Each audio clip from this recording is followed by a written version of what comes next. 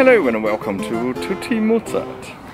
As you probably have noticed, I was in lovely Australia, where I both conducted and directed three exciting performances of a new project called Mozart Mania with a wonderful cast. More news is coming soon. But now it's finally time for more Tutti Mozart.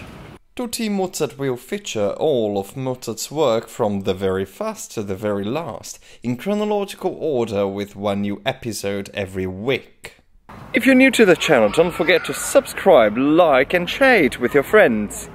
In today's episode, I'll analyze and play the Polonaise 44 from Nannerl's Notenbuch. What is a Polonaise, you may ask?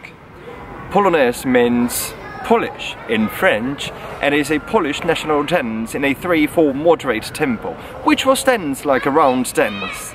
The Polonaise I'll play today is in F major in 3-4 time from an anonymous composer and has three parts. Part 1 has 8 measures and is in F major. Part 2 has also 8 measures, starts in D minor and finishes in C major. Part 3 is the da capo, which means once more the first part.